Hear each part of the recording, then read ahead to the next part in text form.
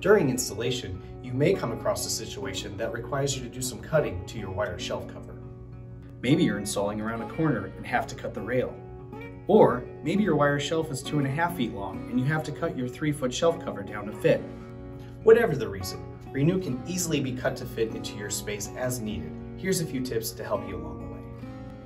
First, measure your shelf, then mark that measurement on each panel and rail you'll be using.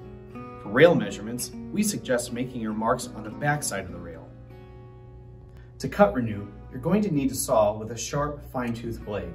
We recommend using a chop saw like this. When cutting, always remember to wear proper eye protection. Cut each individual panel and rail separately. Once all your pieces are cut, assemble and install them onto your shelf.